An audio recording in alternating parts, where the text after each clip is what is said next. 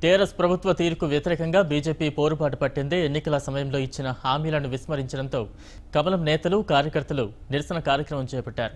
రైతులకు ఇచ్చిన హామీలను వెంటనే నెరవేర్చాలంటూ డిమాండ్ చేస్తూ ఇల్లంతకుంట మండల కేంద్రం నుంచి సిరిసిల్ల కలెక్టరేట్ వరకు మహా పాదయాత్ర నిర్వహించారు. మరోవైపు సీఎం కేసీఆర్ పంట రుణమాఫీ ఫండ్స్ రీషెడ్యూల్ చేయకుండా నిధులన్నీ చింతమడకకు మళ్ళించారని కమలం నేతలు ఆగ్రహం వ్యక్తం చేశారు.